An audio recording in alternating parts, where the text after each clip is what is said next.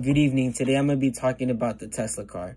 Tesla's the feature guarantees people safety on the road, freeways, highways, even on road trips. Tesla doesn't run on gas, it runs on a battery. It's very eco-friendly and you can get to save up to thousands of dollars a year in gas. Also, it has cameras. It has about eight cameras with a 360 degree motion sensors. And I, if I can show you here today, it has three cameras in the front. It has a camera in the back for when you go on reverse, it shows you the back of the car.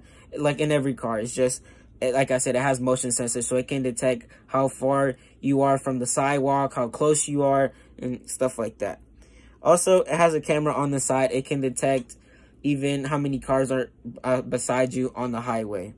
Also, this camera is not used as every other camera around the car. This was mostly used as when you go to like the store or go get something to eat and somebody tries to rob your car, that camera records everything that's surrounding the car and even uh, even farther away.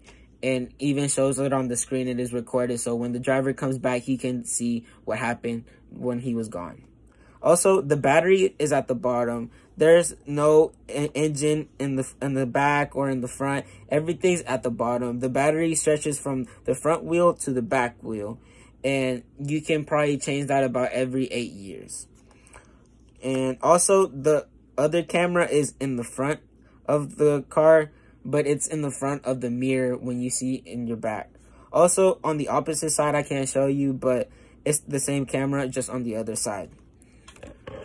And like I said, it, it has eight cameras. It has a 360 degree motion sensors. Also, as the driver, it has a lot of features.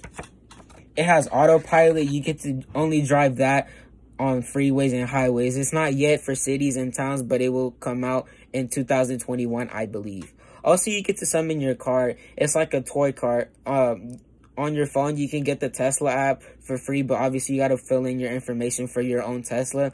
But you get to press the button that says summon and the car will come to you. And like I said, it's like a toy car. It'll, it'll come automatically to you. The Tesla has a lot of sensors, a lot of cameras. It helps the driver, obviously, and it has a lot of features. And also, one interesting thing is the phone can be used as a key. Obviously, Tesla doesn't run uh, use keys anymore. So what they do is with the app that comes uh, on the phone, you can automatically unlock your car just when you're at a, at a certain distance from the car. And for some reason, if your phone dies, then the Tesla comes with the uh, car key, like it, like a hotel room, and you can just swipe that on next to the door and unlock automatically. Like I said, the car is a feature. It provides safety for you and your kids. It has a five-star rating for safety. It has never been in accidents that I believe I've looked at a lot of reviews and videos and I've never seen one in an accident. So why not have a car for your kids that will be so safely and not worry about getting a phone call from the police or the ambulance saying that your kid was in an accident. You have to be safe on the road. Thank you.